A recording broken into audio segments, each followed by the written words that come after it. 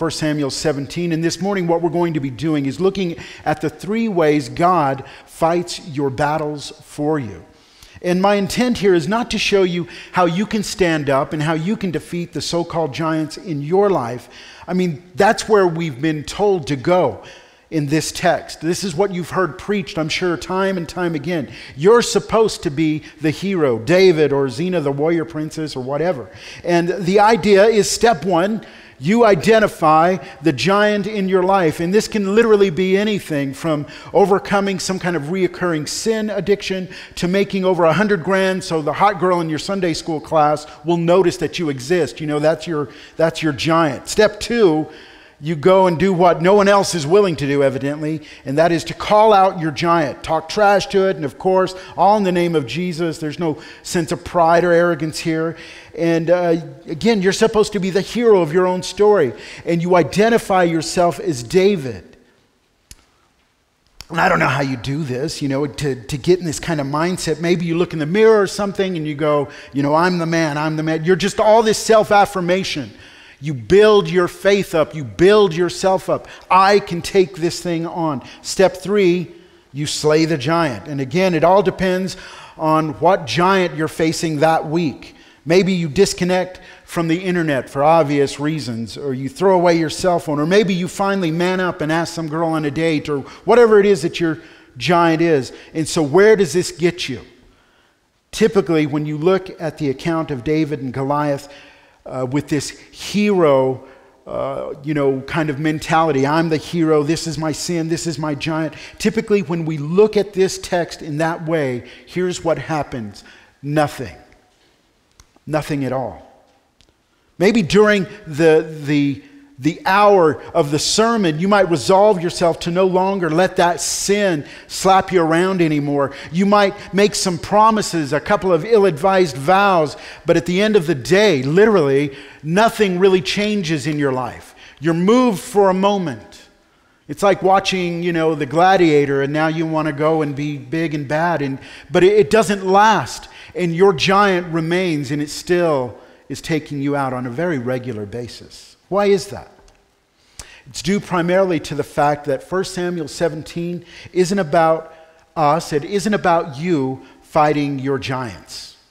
And I don't care how many times you've heard it preached that way, that's not what this text is about. Rather, this text is about God fighting your greatest battle, singular, on your behalf. And so that's my purpose to enable you to trust that God has fought and has won the battle you could never win, because that's what this text is really about. So let's get started as we look at these three ways God has fought your battle for you. Here's the first one God fights, first of all, the battle you cannot win.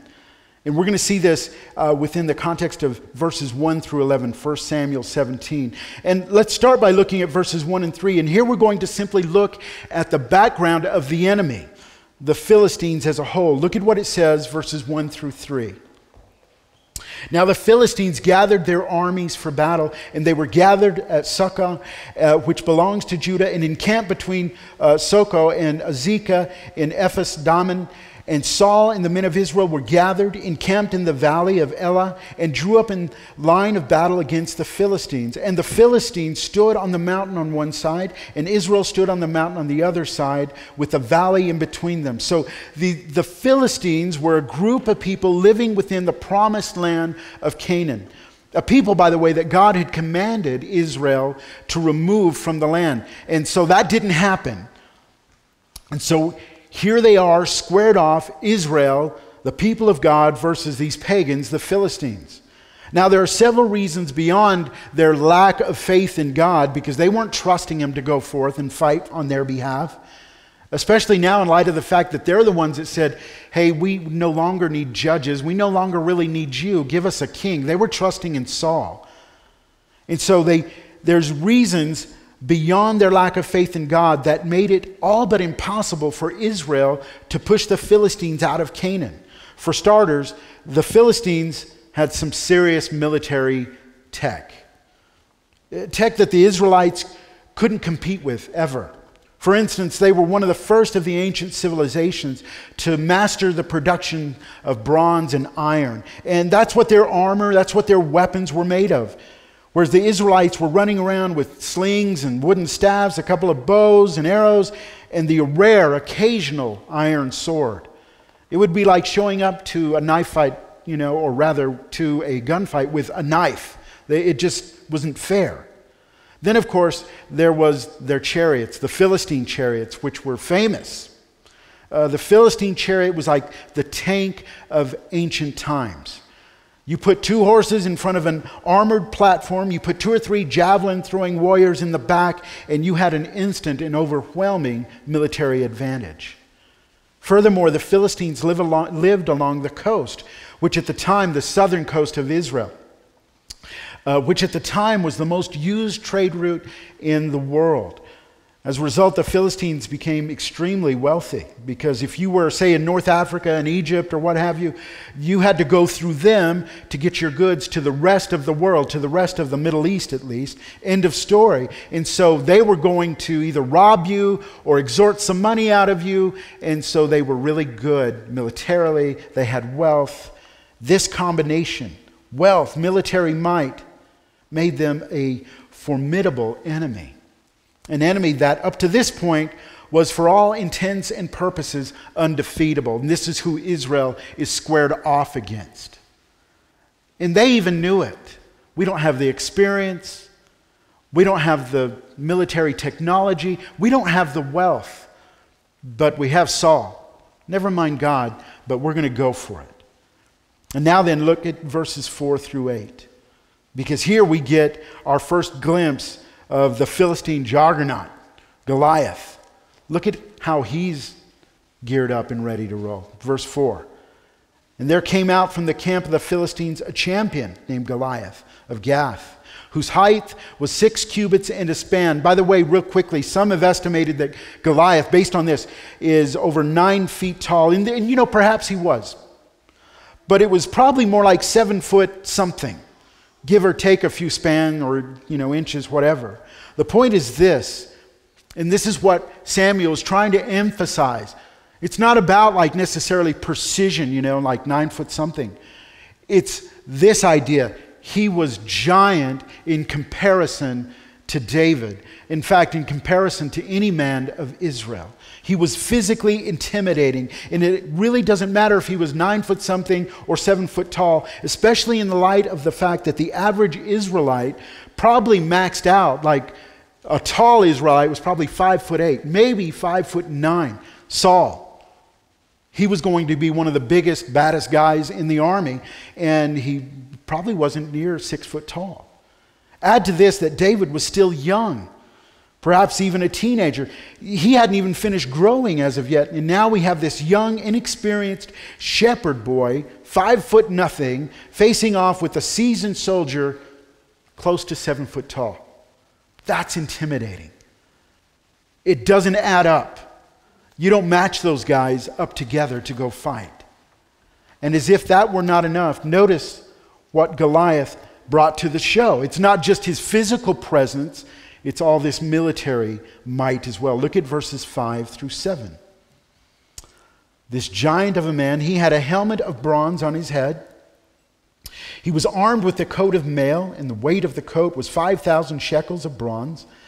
And he had, a, he had bronze armor on his legs and a javelin of, bron- of bronze slung between his shoulders. The shaft of his spear was like, the weaver, like a weaver's beam, and his spear's head weighed 600 shekels of iron, and his uh, shield bearer went before him. So he was a human tank, right? Not only was he physically scary to look at, but he was also rendered basically untouchable by what amounted to approximately 125 pounds worth of bronze armor and his own personal bodyguard, a shield bearer to boot, to go before him.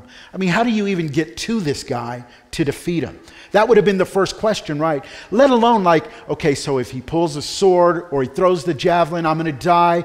But even if I get the free, like, if he tells me, take your best shot, what am I going to do? Nothing. You know, it's not a video game. You get one shot and then he's going to come and kill you. And that's what's going through the mind of Saul and the army as they're looking at this imposing guy day in and day out as he comes down. No wonder Saul and the entire army just kind of stood there in fear. I mean, what are you going to do? Other than take one for the team and die. That's it. That's really all that they see coming at them. And of course, it doesn't end there. Goliath, not only was he scary to look at, had all of this imposing, uh, just, you know, intimidating armament and, you know, weapons and what have you, but he talked crazy trash. You know, sometimes when you're a big guy and scary, you don't have to say nothing. You're just scary. Goliath did everything. He was the Conor McGregor of his own time, although he gets stomped out from time to time. This guy wasn't. He was the champion for a reason. He talked trash, he could back it up, and he was willing to go there. And so he was the master of psychological warfare. And that's what was going on here in the midst of this valley. Look at verses 8 through 11, and you'll see it. He stood and shouted to the ranks of Israel, Why have you come out to draw up for battle? In other words, why are you even wasting your time? Why are you even here? Let's just settle this as he's about to say, you know, man to man. Instead of us murdering the whole lot of you, let's just, just do this one on one. It's real quick, real simple, and then we'll decide from there. And so he goes on Am I not a Philistine? Again, going back to the fact these are the Philistines, the wealthiest, most experienced, most technically advanced military the world knows. Am I not a Philistine? And are you not servants of Saul? You know, who's Saul? That's what he's saying.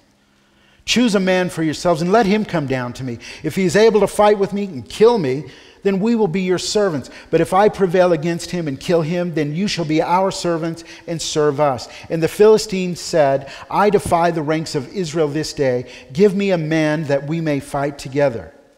So that's pretty self explanatory, right?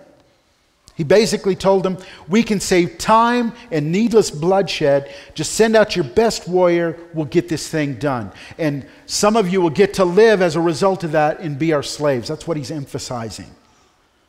If you win, and you won't, we'll serve you. Blah, ha, ha. But if I squash your best warrior like a bug, then you're going to serve us. That's the options. How did Israel respond? Look at verse 11.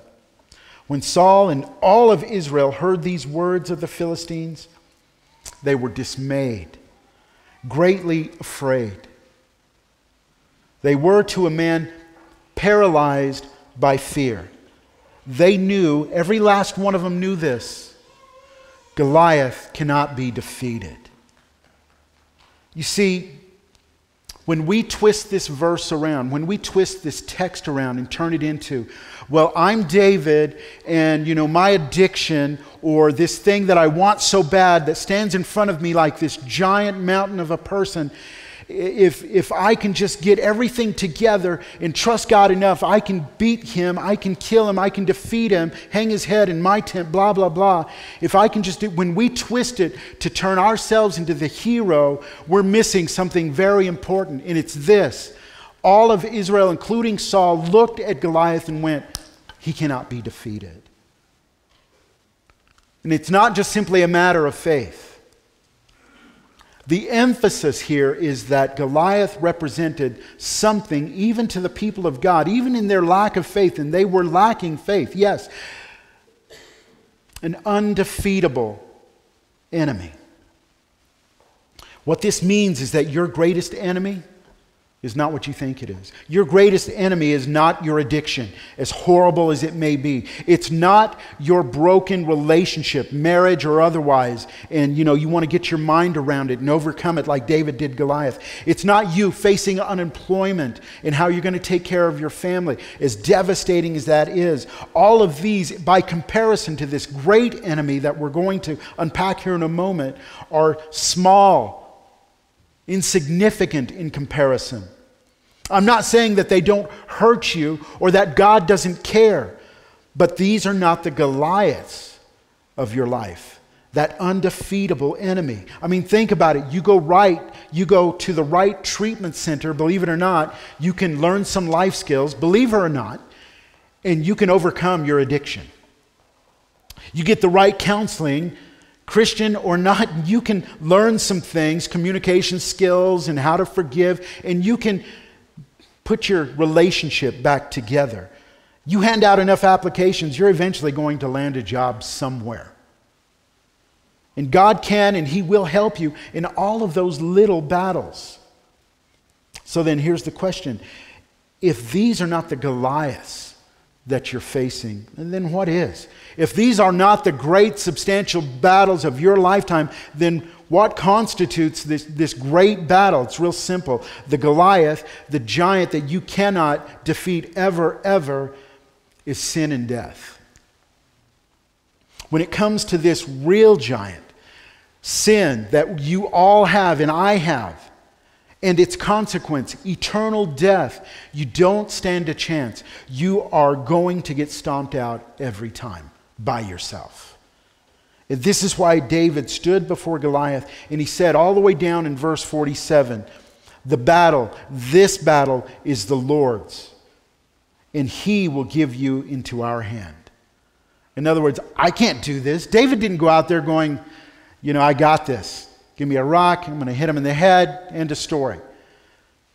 His confidence was in the fact that you can't, they can't, my brothers can't, I really can't even, But God can.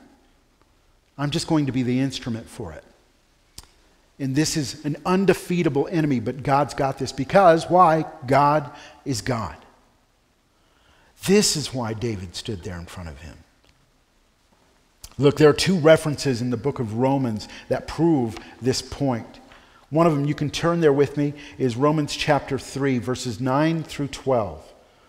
Romans chapter 3, beginning in verse 9. Classic text, I've read it a lot, and I do so often because I want us to understand the power that sin has over us and the power necessary that is beyond us to defeat it, to overcome it, and that comes only from God. Look at what it says, Romans chapter 3, beginning in verse 9. This is the Apostle Paul. He says, What then? Are Jews any better off? Than Gentiles, non Jews. And he says, No, not at all. For we have already charged that all, and that what he means by that is Jews, non Jews, everybody for all time.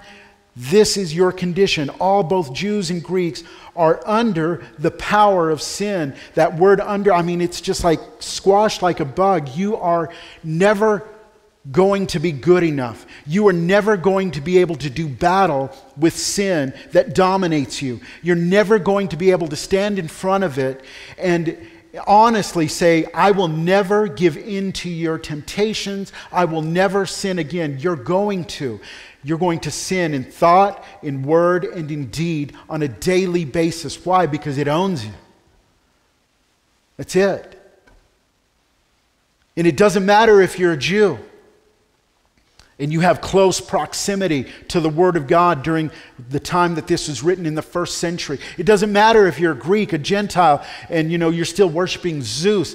It doesn't matter. Regardless, you're under the power of sin and it dominates you. You are a slave to sin. You're just a little kid standing in front of a giant of a man, and he says, You're going to do what I tell you. You just go, Yes, sir. And then it tells us Verse 10, as it is written, none is righteous. What that means is that not this self righteous, hey, I'm better than you, but rather righteous in the sense of don't compare yourself to the way you were yesterday. Don't compare yourself to the to your neighbor, but compare yourself to the perfections of God. And none of us are righteous because God is perfectly sinless, meaning perfectly righteous. And so he says right there, none are righteous. No, not one. No one understands. No one seeks for God. And you know, we're so pretentious. We want to think, well, I'm here, aren't I? I'm seeking God. I'm seeking answers. No. Not according to Scripture.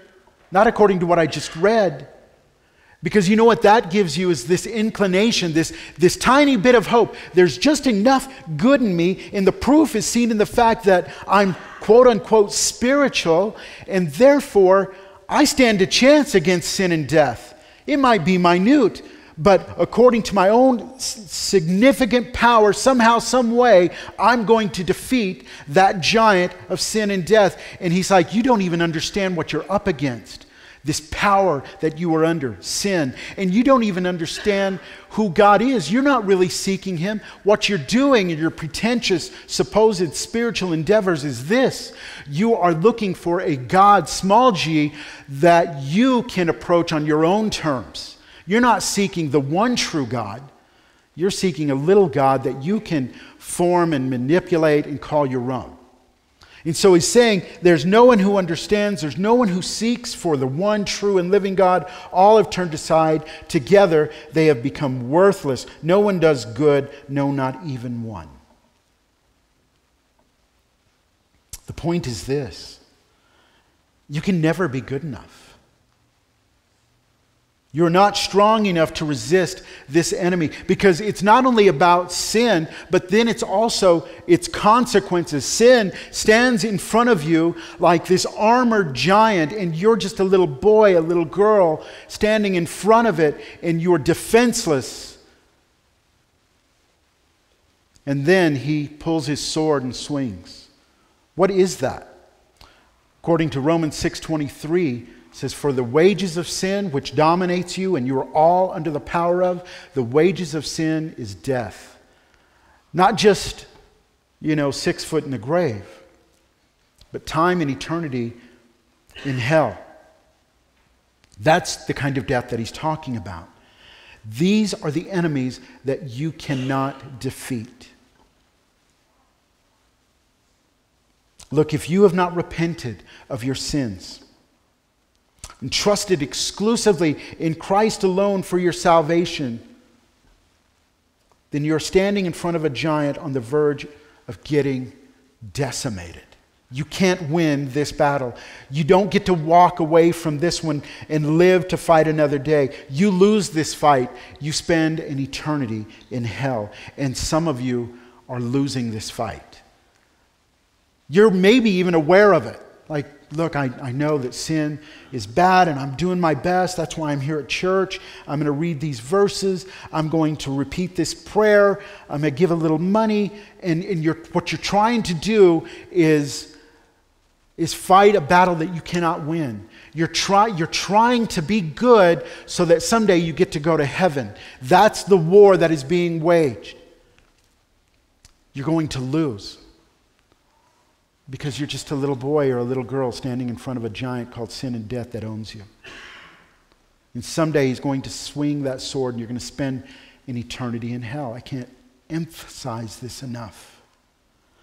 You lose this fight every time. So you've got to make a decision right here now. Are you going to go at this giant of sin and death all by your onesies, or are you going to trust in Christ and let him fight this battle for you?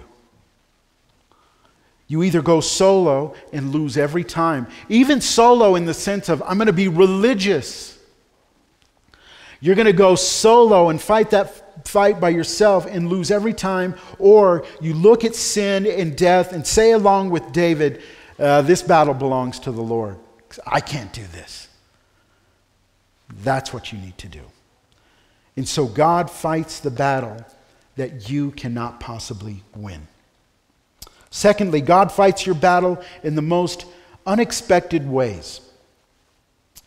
So now looking back at our text, 1 Samuel 17, I want to ask the following question before we start tearing into some verses. But bear in mind the armies of Israel and the Philistines, they've drawn up battle lines. And then, of course, the one man army named Goliath, he goes down to the valley floor. He talks trash about God and Israel, and he has no takers whatsoever for a one on one. With that in mind, who should we have expected to fight this battle? How about David's brother? Or, or at least his, or his brothers, you know, but at least his oldest brother, because that's who's emphasized here. Look at verses 12 and 13. Now, David was the son of an Eph, uh, Ephrathite of Bethlehem in Judah named Jesse, who had eight sons. In the days of Saul, the man was already old and advanced in years. The three oldest sons of Jesse had followed Saul to the battle. And the names of his three sons who went to battle were Eliab the firstborn, and next to him Abinadab, and the third Shammah. Let's just focus on Eliab. He's the oldest of uh, Jesse's eight sons. He's the one the prophet Samuel thought for sure, just based on his outward appearances, he thought for sure that Eliab was God's anointed, going to be the next king. He's a grown man, evidently somewhat of an experienced soldier. Shouldn't he be the one that's ready to go throw down with Goliath? Not so much. He just stands there, like everybody else. So before we nominate Eliab for the Pansies Hall of Shame, let's take a quick look at the rest of Israel's army. How did they stand up, including its king and military leader, Saul? Look down at verse 11. When Saul and all of Israel heard these words of the Philistines, uh, they were, or rather the Philistine, they were dismayed and greatly afraid. And so this was as good as it gets. These are really the men you would expect to go for it. The best Israel had to offer, and not of one of them, including the tall, handsome, and hey, my daddy owns a bunch of sheep, so I'm wealthy King Saul, none of them had the stomach to go fight Goliath.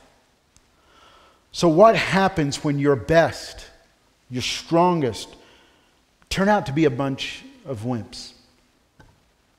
What does God do when his people are faced with an unwinnable situation? Enter the sheep herder. Y'all get that right, not enter the dragon. Bruce, never mind. Anyway, David is described for us here in verses 14 through 20. And yeah, he was just a boy and he was just a sheep herder. And look at what it says about him. David was the youngest. And so, again, perhaps just a teenage boy. And he's about to enter into this horrific scene of battle. And that's something that shouldn't be lost on us. Let's say Goliath's not even there.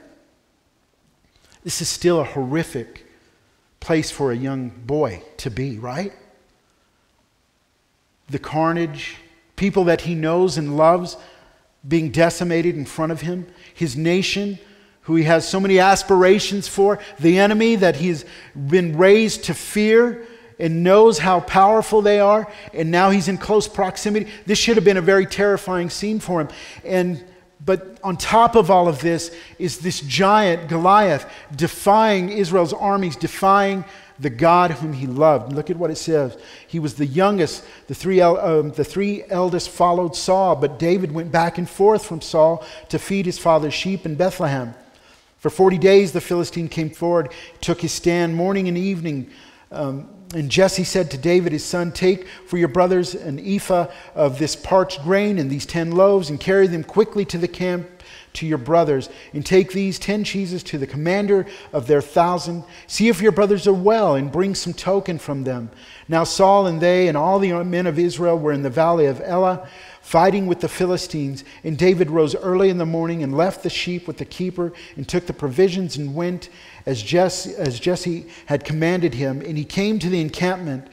And as the host was going out to the battle line, shouting the war cry. So here's what we've got David's the youngest, he's the most inexperienced, the most physically non intimidating son of Jesse.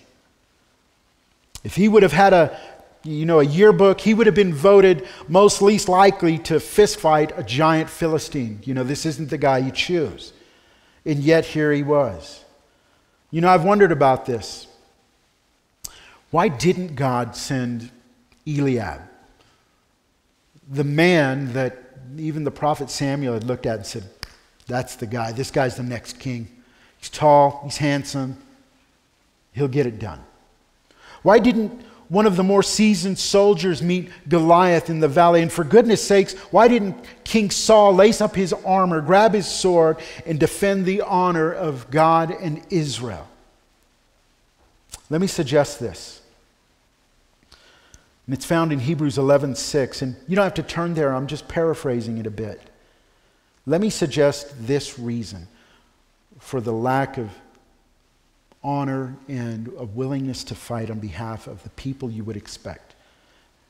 Hebrews 11:6 Without faith it is impossible to please God. For David, the young, unassuming shepherd boy, for him to go and do what no military man of Israel was willing to do required an unshakable faith, not in his own abilities, because he had none by comparison, but rather faith in the immeasurable and inexhaustible power of God to vanquish his foe. That's who he had faith in that day. And by the way, this points directly not to yourself, like, hey, whatever problem I'm facing, if I just muster up enough faith, God's going to step in and knock it down. That's not what this is telling you to do. You, again, are not the hero of this story. This points directly to Christ and not yourself. You see, your greatest battle, the giant you're facing, is again sin and death. And your only hope is found not in trusting in yourself to keep a list of rules and somehow get God to like you enough to let you go into heaven. You can't do that. Sin and death is a giant you're going to lose every time. Your only hope much like David's only hope that day was in putting his faith, his trust in God and his power to win the battle, your only hope is by putting your faith, your trust in Jesus Christ, who has won the battle already. Now, then, read along with me real quickly, verses 21 through 27, because this sets something up for us here. Look at how this plays out. Israel and the Philistines drew up for battle army against army. David left the things in charge of the keeper of the baggage and ran to the ranks and went and greeted his brothers. You can just imagine this kid showing up. You're sitting there staring as a grown man. This battle is about to ensue in front of you. Goliath's about to do his thing again. And your punk brother shows up and goes, Hey, how's it going? What's going on? You know, there's a reason they were mad at him. As he talked with them, behold, the champion, the Philistine of Gath, Goliath by name, came up out of the ranks of the Philistines. He spoke the same words as before, talking trash. David heard him. All the men of Israel, when they saw the man, fled from him and were much afraid. And the men of Israel said, Have you seen this man who has come up? Of course, how could you possibly miss him? Surely he has come up to defy Israel. Now then, pay close attention right here in verse 25. And the king will enrich the man who kills him with great riches, will give him his daughter, and make his father's house free in Israel. David said to the men who stood by him, What shall be done for the man who kills the Philistine and takes away the reproach from Israel?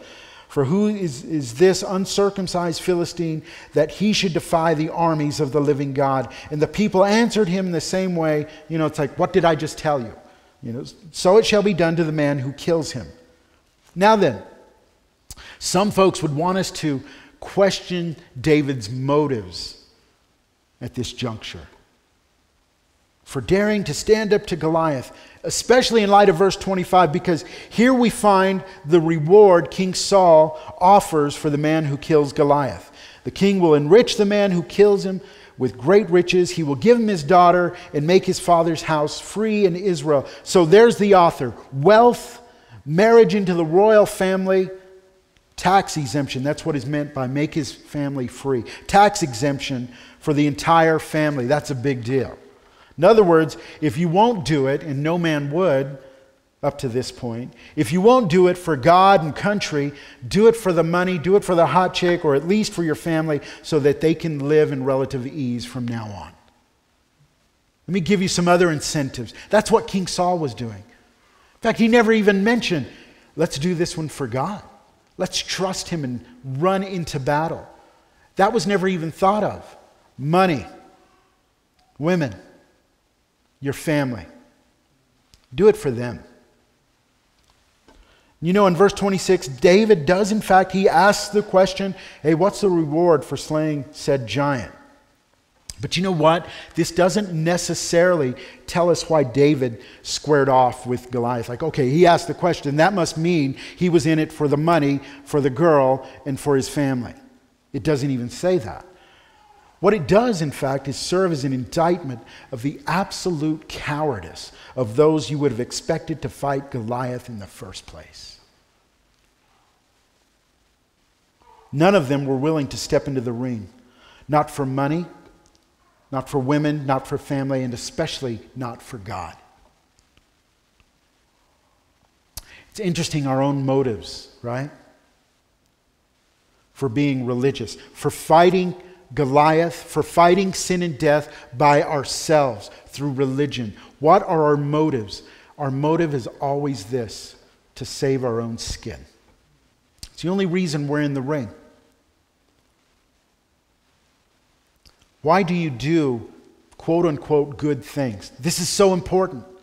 Well, I, I try to be a good person because someday I'm going to stand before God and He's going to judge me and He's going to ask me, Why should you go to heaven? And your answer, if you're fighting this battle alone, your answer is always going to be this Well, I believe that there's a God, so I, I have that going for me, and I. Um, I'm basically a good person. I've tried to be a good person. Here's my list. Uh, you know, I'd go to church on occasion. I would do this. I would do that. You're going to you're gonna defend yourself. You're going to fight this battle with all these really paper things, you know? And God, just like Jesus said in Matthew chapter 7, Sermon on the Mount, at the end of that sermon, he said, Some of you are going to come in front of me and say, Lord, Lord, didn't I cast out demons? Didn't I prophesy in your name? Didn't I do good things in my life? And he's going to say, I never knew you. Depart from me, you worker of iniquity. In other words, everything you did, they may have been good. Casting out demons, probably a good thing. Prophesying, great. By the way, he meant preaching. That's a good thing, should be a good thing. But when you do it for the wrong motive, to save yourself, then it's worthless. Then you don't, he doesn't even know, I don't even know you. What are you talking about? I didn't make a room for you. I made a room for people that know me, which is far different than people that try to use me to get in. So, are you fighting alone or are you trusting in Christ? Do you, do you, guys see what I'm talking about? It's all about your motive. And again, this all points forward to Christ. The Jews, for instance, never expected God to send someone like Jesus to fight their battle for them. In fact, in their mind, their greatest enemy during Jesus' lifetime, their greatest enemy was not sin and death. Hey, we've got that one. Don't, don't preach to us. Their greatest enemy was the occupying forces of the Roman legion. And so they expected a dynamic warrior king that would lead them to decimate their earthly enemies. And we may not be occupied by an opposing enemy, but I would dare say that most of us are preoccupied with imaginary monsters we confuse with giants. And so instead of looking to the true Jesus revealed in Scripture, the unexpected one who faced our true giant, sin and death, instead of looking to Christ, we look to a Jesus with a small j of our own imaginations fighting our imaginary giants. Jesus, if you will just allow me to have this much money, my life will be great. That's my greatest obstacle. No, it's not. You're going to die without that treasure. It's all subject to moth, moths and rust. You don't get to take it with you. It's not a giant. And so some of us are preoccupied with these imaginary battles, these imaginary giants, and there's nothing to them. And so you pray to a Jesus of your own imaginary, uh, your own imagination. You're begging him to allow you to make more money, to score the right girl, right dude, or whatever it is you're into. And Saul did much the same thing by offering David his armor and his sword. Back in verses 38 and 39, he gave them all this stuff. He had him put it on. It, it didn't fit, it didn't work. These were, if you will, the armor and the weapons of the world, of man, trying to take on sin and death. Your religion, your so called good works that are going to get you into heaven. Many of you here are aware that your greatest enemy is, is sin and death. Even so, you fight them with this man-made, these man-made weapons of a sincere heart and my all-time favorite, I'm a good person. You expect to gain entrance into the presence of God. You expect to be saved by your works. This, despite the fact that Scripture clearly tells us that we are saved through the grace of the Lord Jesus Christ. And that's found in Acts 15 11. And you know, you can have that Jesus of your own imagination if you want. But that little Jesus is not the Lord and Savior revealed throughout Scripture. He is the unexpected one who lived a sinless life, died a sacrificial death, rose from the grave, defeating your greatest enemy, sin and death. And the best description of him and how he's so unexpected is found in Isaiah 53 1 through 5. Let me read that for you. Who has believed what they have heard from us? And to whom has the arm of the Lord been revealed? For he, meaning Jesus, pointing to Jesus, grew up before him like a young plant, like a root out of dry ground. He had no form or majesty that we should look at him. There was nothing spectacular about him. Like, psh, that guy's tall and handsome and good looking. He'll lead us into battle and blah, blah, blah. That's how Samuel in Israel looked to King Saul and Eliab. They look to him as an imposing thing. But Jesus, he's nothing to look at. No form or majesty that we should look at him, and no beauty that we should desire him. He wasn't good looking like we have it in our heads. He was despised and rejected by men, a man of sorrows and acquainted with grief, and as one from whom men hide their faces. He was despised, and we esteemed him not. And so it's the exact opposite. Like the dude you would think would go and fight on your behalf, some giant standing, the, the ugly, short, little guy, the one that shouldn't be fighting the fight, that's the guy. Jesus, who fought your greatest battle over sin and death. You know, it's not like Arnold Schwarzenegger walked into the scene. No. We saw what he was described like. Nothing, like a worm. Not only to be ignored, but even to be despised. Like, guy can't do it, man. No way.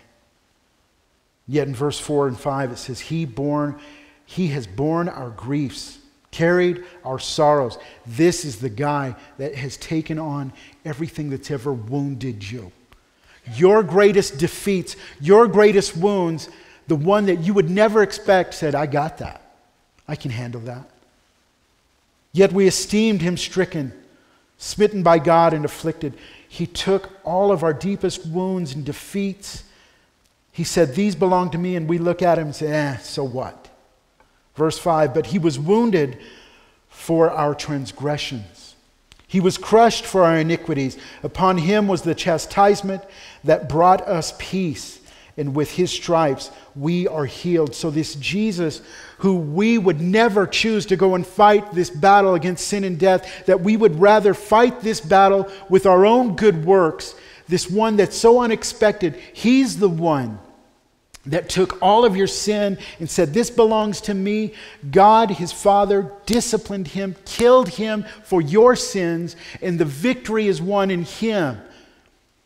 All you have to do is believe it, and the victory is yours. Now, then, lastly, God fights your battle decisively, very quickly. David's victory over Goliath was decisive, it was quick, and it was final. Look at verse 48, 1 Samuel 17. When the Philistine arose and he came and he drew near to meet David, David, I love this, ran quickly towards the battle. It wasn't none of this like, man, am I really doing this? This is going down, you know, and he's then his brothers are pushing him like, go for it, tax free, you know, whatever. None of this. He ran. And again, he's not running because, like, hey, I got this, you know, self confidence that we are so addicted to today. He ran because he'd already said it. This battle is God's. He's going to give you to me. Your head, mine because of God. So he ran towards the battle line to meet the Philistine. And David put his hand in the bag and he took out a stone, he slung it and struck the Philistine on his forehead. The stone sank into his forehead and he fell to his face on the ground. Probably the only place where he was unarmored. You know, he had the helmet and, uh, you know, there had to be some kind of thing where he could see. And so wherever that little chink in the armor, that's where God placed the stone. So David prevailed over the Philistine with the, with the sling and with the stone, and he struck the Philistine and killed him. There was no sword in David's hand. Then David ran, he stood over the Philistine. And by the way, I can just imagine the battle lines. Everybody knew the outcome. David's going to die. You know, I'm going to be, I don't know, herding sheep for a Philistine before it's all said and done. My wife's going to belong to, you know, some guy like Goliath, you know, so it's done. It's a done deal. And they, I guess they were just resigned to it. Could you imagine the stunned silence? When David, with one fell swoop, like, okay, let's do this, he runs, boom, bang, and he's still just trusting in the Lord, and now he's going to just finish it. He prevailed over the Philistine with a sling and a stone. and He struck the Philistine and killed him. Then skip down to verse 54. David took the head of the Philistine and brought it to Jerusalem. By the way, I missed a part, the most graphic part. He ran, he stood over the Philistine, verse 51, and he took the Philistine's sword, he drew it out of its sheath, and he killed him. He was already dead, he hit him with the stone, but he cut off his head with it. When the Philistines saw that their champion was dead, they fled. And then, as just as to put an exclamation mark on it, David took the head of the Philistine and brought it to Jerusalem. And he put his armor in his tent. So, was there any doubt as to who won the fight? This one didn't go to decision, right? Like, well, who did you think won? You know, I thought David got the best of it. No. He had his head hanging in Jerusalem. And this is the same thing that Christ's victory over sin and death looked like complete, final, no question, no doubt whatsoever. Done deal on the cross, not as a result of your performance afterwards. Make sure you get that. The victory that you and I now enjoy as Christians over sin and death was accomplished not after you prayed a prayer and then, you know, like, well, I'm, I'm more good today than I am bad, so I must be going to heaven because the victory is mine, because I did it, because I'm David and I overcame that. Ju-. No, that's not it. That's complete nonsense. That's not even the gospel. That kind of belief system will send you to hell. But when you look at the cross and you go, that was it, that's when the victory was won. And yes, in my life, here and now, I'm going to have sinful thoughts. Stupid, sinful things are going to come out of my mouth. I'm going to walk in sinful ways. But that doesn't, that does not weaken the power of the cross. Do you guys get that? And here's why. In this one I want you to turn to. They may not show it, but it's John 19:30. Look at what happens here. This is on the cross. Some of the last words that our Lord uttered. When Jesus had received the sour wine, he said, and here it is, it is finished. And he bowed his head and he gave up his spirit. So just before he dies, those three words come out of his mouth It is finished. What did he mean by that? He meant the victory is won. The ultimate defeat of sin and death, your giant that you cannot defeat. It is complete. It is finished. There's no more battles in your life. The war is over. Colossians 2 13 through 15 emphasizes this as well. Beginning in verse 13, it says, In you, so this is us, you and me, who were dead in your trespasses. I mean, can you defend yourself? Can you go fight Goliath? No. You were dead in your trespasses, your sin, your giant sin has already killed you, slayed you. And the uncircumcision of your flesh, God made alive together with him, having forgiven us all our trespasses. How? By canceling the record of debt that stood against us with its legal demands. The legal demand of sin is death, eternal death. This he set aside. How? Nailing it to the cross. Boom. When Jesus was nailed to the cross, when he uttered those words, it is finished, what it means is that the battle was and is over. It goes on, it even says, verse 15, he disarmed the rulers and authorities. He put them to open shame, like David cutting off the head of Goliath and saying, Battle's over, man, done. How? By triumphing over them. How did Jesus triumph over our greatest enemy? What was that I've got Goliath's head moment for Jesus when he fought on our behalf? The moment he died on the cross. It is finished. I got this. Bringing it all together, God fought the battle you could not win over sin and death. He sent the most unexpected person to fight for you, his very own son. And lastly, Jesus defeated your greatest enemy, sin and death, once and for all by dying on the cross for your sins, rising from the grave that you might have eternal life. And so here's my final question. Clearly, God has fought and won this battle for countless sinners, but the question is this Has He defeated sin and death for you? Through his son? Or are you standing in front of Goliath all by yourself on the verge of spending an eternity in hell? Here's how you can tell. Have you repented of your sins? Have you trusted not in yourself, your own goodness, but exclusively in who Jesus is, both man and God? And have you trusted in what he's done for you? He lived a sinless life. He died on the cross. It is finished. He rose from the grave. If you have done that, the war is over. If you have not done that, you are about to get stomped out and spend an eternity in hell. Which one is it for you? Let's pray. Father,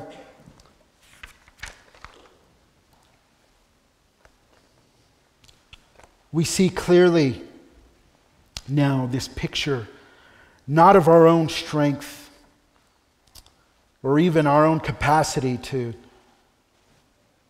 somehow have faith and overcome challenges in life. It's not what this message is about. It's never been about that. We see clearly our enemy, sin and death, and how we could never, ever overcome them. We see clearly now how you sent your son. Even though he just doesn't look right in our eyes like a champion. He wasn't beautiful to look at, in fact, despised by men. But he's the one that went to the cross and delivered the final blow on our behalf. It is finished. The war is over. I pray for your people right now that they would stand in that, in the sufficiency of that grace, that gift of Jesus fighting for us and winning decisively. And I pray for those here this morning that are lost and are on the verge of spending an eternity in hell, that you would break them and allow them to see Christ as your soldier who fought on our behalf and for their salvation. Break them so that they might be saved.